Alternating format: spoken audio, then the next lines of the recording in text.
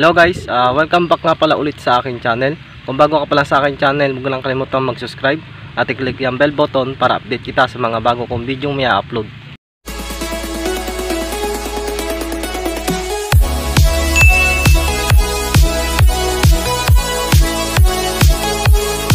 So ngayon guys, uh, ang gagawin ko ngayong araw, uh, mag spray tayo guys ng pechay. So ayan guys ang power spray na ating gagamitin.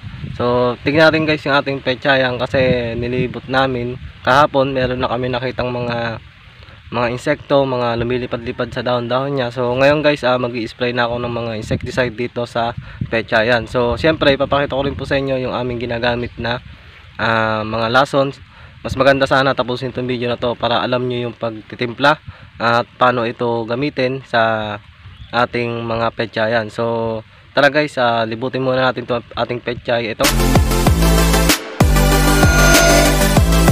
So yun guys uh, papakita ko po sa inyo guys yung sinasabi kong petsay. So, so ganito na po ang dahon nya so ipapakita ko lang sa inyo guys yung sinasabi kong nasisira nasisira ng mga dahon.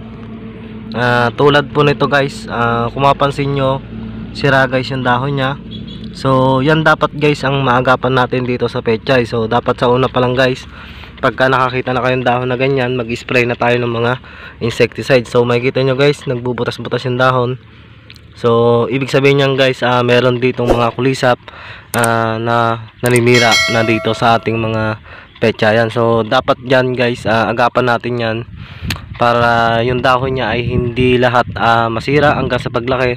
Kasi once na lumaki na yan mas mahirap tayong mag-apula ng mga insect insekto dito sa ating mga petsayang kasi guys mas madali mag-apula ng mga sakit pagka maliliit pa lang ating mga gulay or yung pechay kasi mas maliliit pa ang dahon niya kaysa pag malalaki na eh malalapad na po ang kanilang dahon mas mahirap tayong mag-apula so siyempre iniingatan nga natin ito habang bata pa ay maging maayos at hindi magbutas-butas yung ating pechay. So yung guys, hindi ko naman sinasabi guys dito na perfect kami magpechay at wala ka talagang kabutas-butas. Pero bibigay lang ako ng konting uh, idea na kahit sino naman guys na magpepechay kahit magaling pa yan magbubutas-butas din ng dahon. Pero kinukuha ko lang guys hanggat bata pa ay dapat ay i-recover natin itong ating pechayan so yung guys uh, yung guys mag-i-spray. Okay papakita ko rin po sa inyo guys yung ginagamit namin mga lason dito sa aming pechayan so yung 5 kilo guys tong ating isprehan na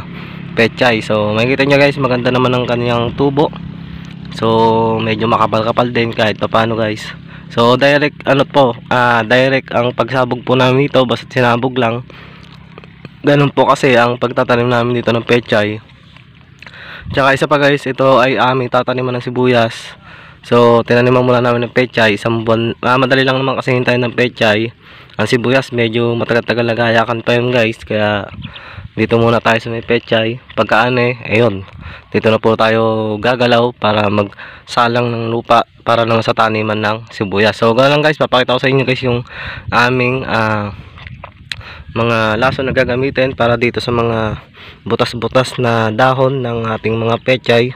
So tara guys uh, para papakita ko na sa inyo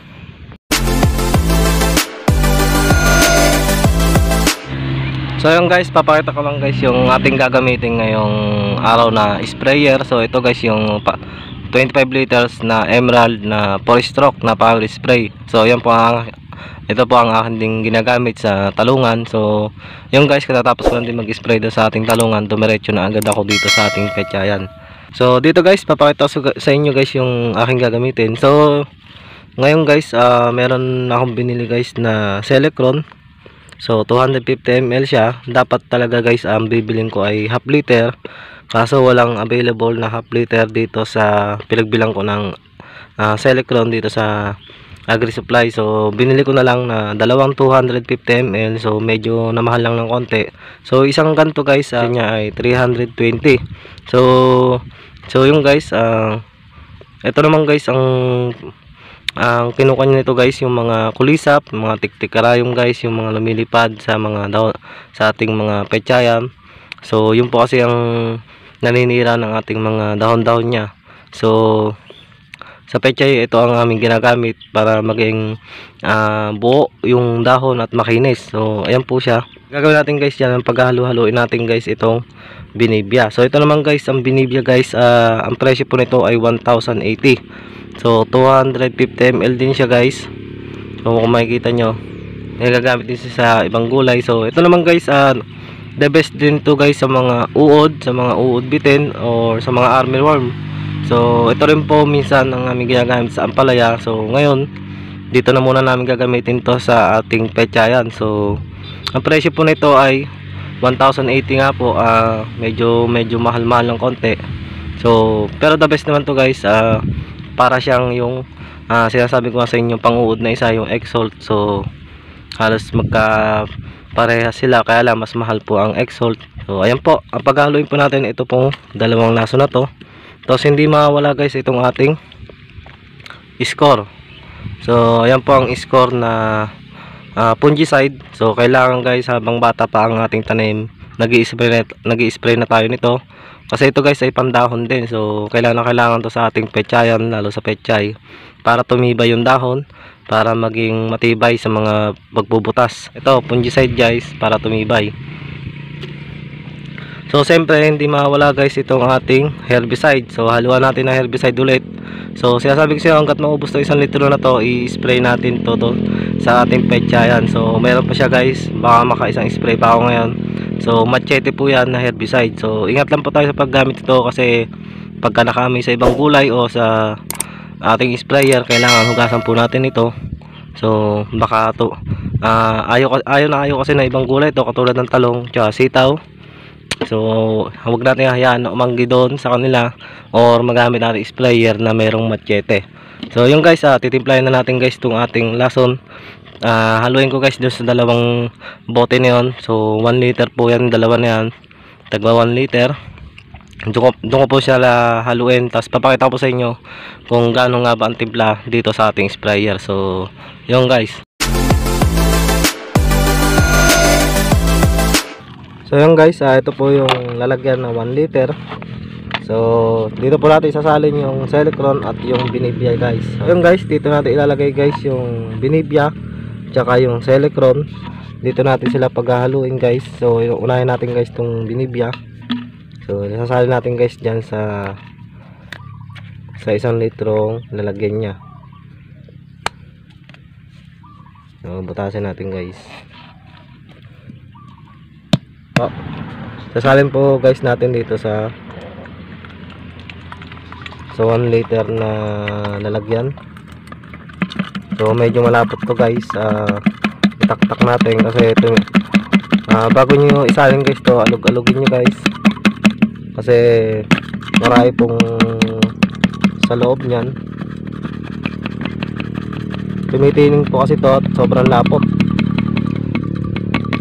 So kahalin tulad tulo guys uh, ng Exalt, ganyan po ang laman ng Exalt.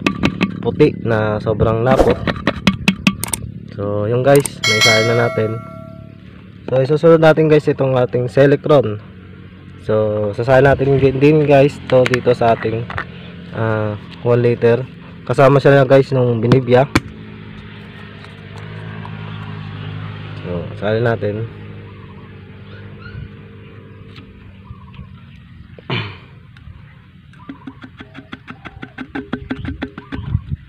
So ito guys yung mga lalagyan niya luluglugan ah, hugasan natin para ah, sayang din naman yan guys. yung mga natitira dyan sa loob. So yan guys.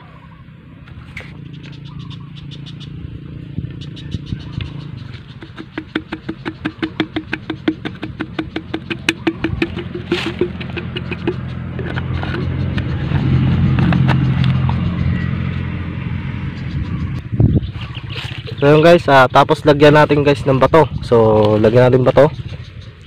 Yung para guys mahalo siya ng maganda pag inalog natin. So madami. Ayan guys. So kada gamit nyo guys, alugin nyo kasi ang ah, binibya, tinitining po yan sa ilalim. So yun, ah, yung guys, ah, ang timpla nito guys, itong pinaghalo natin sa electron tsaka itong ating ah, binibya ang timpla po niyan ay 35 ml sa 25 liters na tubig So malakas na po yung guys kasi wala siyang halong tubig. Hindi natin hinalawang guys ng tubig. So yan po. Ganyan po, ah 35 ml po sa 25 liters. Yung kalahati nitong score guys, ah isang litrong tubig ang nahaluan. So kalahati lang nito. So ibig sabihin guys, yung 250 ml, 2 liters yung nahalo niyang tubig. Ah kasi bata pa naman yung ating pechay. So okay na yan. 2 litro ang halo, ihalo muna natin dito. So ilalagay ko mo lang muna yung kalahati. So ito guys yung score.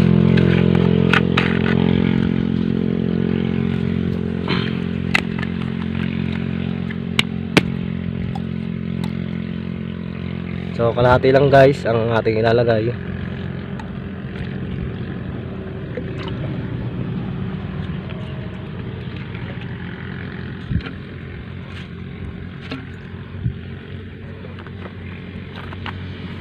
Tapos guys, ah, lagyan din natin guys ng bato para pagka inalog natin guys, ah, meron siyang ah, pang para mahalo siya ng maganda. Lagyan natin bato.